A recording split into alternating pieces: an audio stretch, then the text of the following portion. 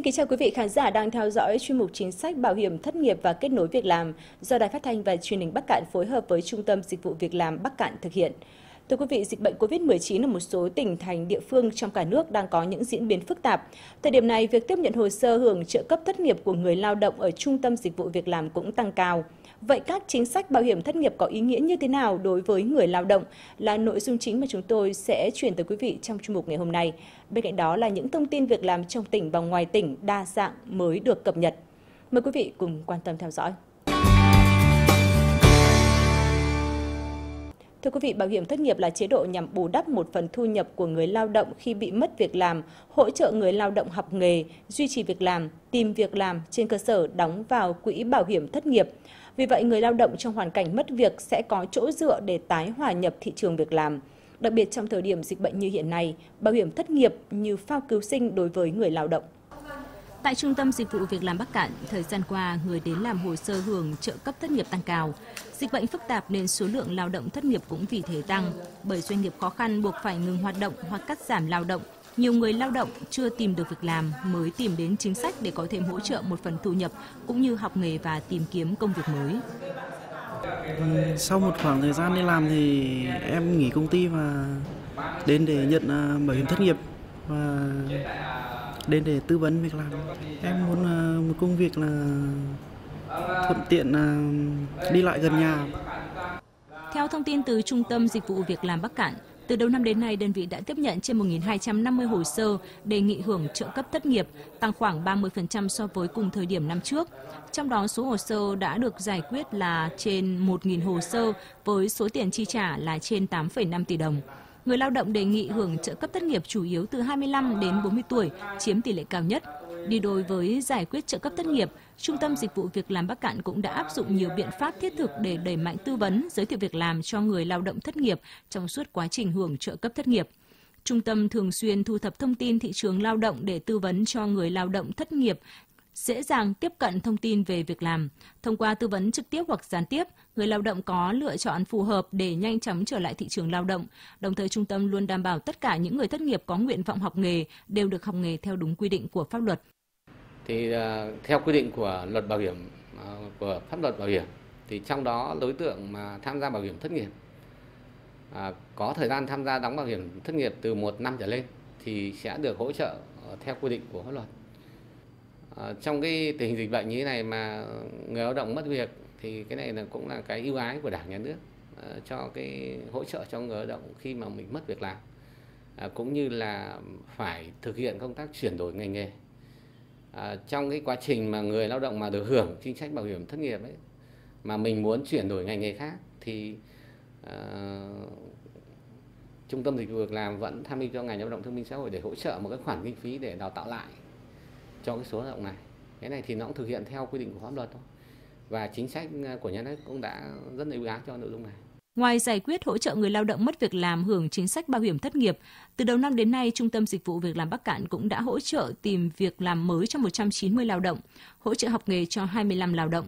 Có thể nói trong thời điểm khó khăn như hiện nay, chính sách bảo hiểm thất nghiệp được coi là cứu cánh, giúp nhiều người bị mất việc làm có điều kiện trang trải cuộc sống trong thời gian tìm việc làm mới, cũng như quay trở lại thị trường lao động nhanh hơn nhờ tư vấn giới thiệu việc làm và hỗ trợ học nghề miễn phí. Em muốn làm được cả đời đâu. Thưa quý vị, bên cạnh nhiệm vụ hỗ trợ người lao động giải quyết chính sách bảo hiểm thất nghiệp, từ đầu năm đến nay, Trung tâm Dịch vụ Việc làm Bắc Cạn cũng chú trọng công tác hỗ trợ kết nối người lao động đến với công việc mới, cũng như tăng cường mở rộng đối tượng tiếp cận thị trường lao động.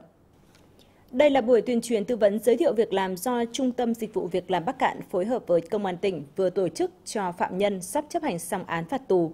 Việc tư vấn nghề nghiệp trong trại giam góp phần giúp phạm nhân có được định hướng nghề nghiệp để khi chấp hành xong án phạt tù, có thể tìm kiếm được việc làm, ổn định cuộc sống và hòa nhập vào với đời sống xã hội.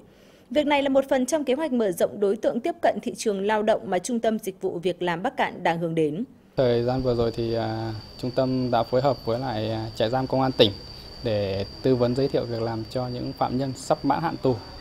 Vâng, đây cũng là thực tế thì à, về về nhiệm vụ ấy thì à, à, từ trước đã có nhiệm vụ rồi.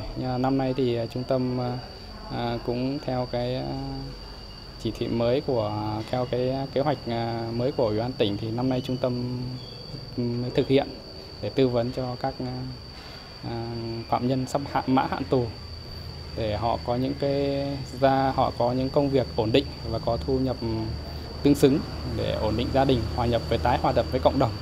Ngoài việc tư vấn giới thiệu việc làm, học nghề, chính sách, pháp luật cho người lao động tại trung tâm và tại các phiên giao dịch việc làm.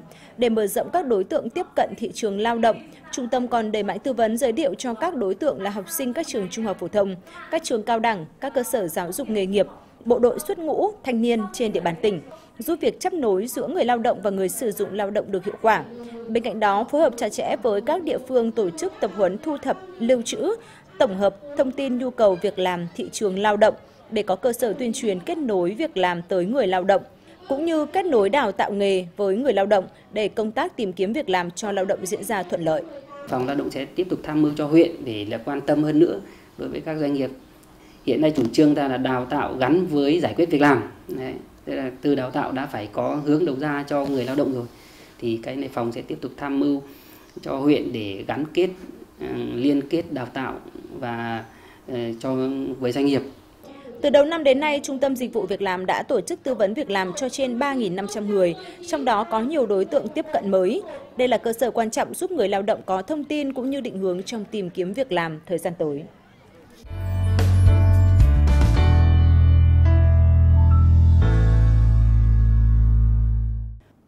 Tiếp tục chương trình hôm nay là thông tin thị trường lao động trong và ngoài tỉnh. Trung tâm Dịch vụ Việc làm tỉnh Bắc Cạn trực thuộc Sở Lao động Thương binh và Xã hội tỉnh Bắc Cạn thông tin thị trường lao động đi làm việc ở trong nước và xuất khẩu lao động cụ thể như sau. Công ty trách nhiệm hữu hạn New Wing, địa chỉ khu công nghiệp Vân Trung, xã Vân Trung, huyện Việt Yên, tỉnh Bắc Giang, yêu cầu công việc lắp ráp linh kiện điện tử, dây kết nối và tai nghe. Mức lương cơ bản 4 triệu 900 nghìn đồng, phụ cấp nhà ở 500 nghìn đồng, chuyên cần 500 nghìn đồng, đi lại 200 nghìn đồng, Tiền ăn 1 triệu 066 nghìn đồng. Tăng ca 2 tiếng được tính lương thành 2,5 tiếng. Tổng thu nhập từ 9 đến 12 triệu đồng một tháng. Môi trường làm việc năng động thể hiện được khả năng của bản thân, nghỉ ngày lễ, phép theo quy định của luật hiện hành, được đóng bảo hiểm đầy đủ theo luật định, có ký túc xá ở miễn phí. Công ty trách nhiệm hữu hạn Intox Việt Nam, địa chỉ khu công nghiệp Yên Phong, Long Châu, Yên Phong, Bắc Ninh. Công việc sản xuất vỏ điện thoại di động cung cấp cho Samsung, số lượng 1.200 người, lương 4 triệu 200 nghìn đồng, phụ cấp 450 nghìn đồng, tổng thu nhập bình quân 8 đến 12 triệu đồng một tháng, môi trường làm việc sạch sẽ, an toàn hiện đại. Công ty trách nhiệm hữu hạn Lux Hair ICT Việt Nam, khu công nghiệp Vân Trung Việt Yên Bắc Giang, mức lương cơ bản 4 triệu 900 nghìn đồng, phụ cấp nhà ở 500 nghìn đồng, phụ cấp chuyên cần 300 nghìn đồng, phụ cấp thâm niên 500.000 đồng, xăng xe 200.000 đồng. Về thị trường xuất khẩu lao động, thị trường Nhật Bản, điều kiện tuyển dụng nam nữ trong độ tuổi 18 đến 35, sức khỏe tốt, không mắc bệnh truyền nhiễm như HIV, viêm gan B, lao phổi. Chiều cao nam từ 160 cm, nặng từ 50 kg, nữ cao từ 150 cm, nặng từ 45 kg. Thời hạn hợp đồng 3 năm, có thể gia hạn đến 5 năm. Các ngành nghề cơ khí, điện, điện tử, thực phẩm, nông nghiệp, xây dựng, may mặc, thực tập sinh điều dưỡng, lương cơ bản khoảng 20 đến 30 triệu đồng, chưa kể làm thêm giờ. Tiền làm thêm giờ theo luật của Nhật Bản. Chi phí xuất cảnh tùy vào từng đơn hàng cụ thể. Lưu ý người lao động được hỗ trợ thủ tục vay vốn ưu đãi với lãi suất thấp theo quy định của nhà nước. 2. Thị trường Đài Loan Điều kiện tuyển dụng nam, nữ, độ tuổi từ 18 đến 49. Sức khỏe tốt, không mắc bệnh truyền nhiễm như HIV, lão phổi.